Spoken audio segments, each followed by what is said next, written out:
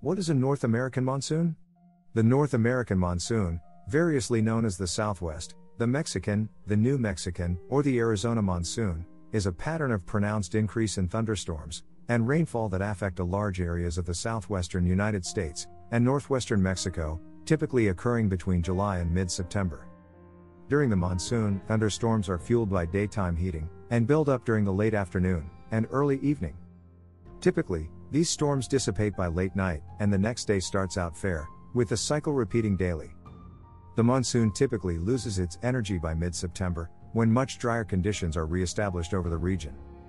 Geographically, the North American monsoon precipitation region is centered over the Sierra Madre Occidental in the Mexican states of Sinaloa, Durango, Sonora, and Chihuahua.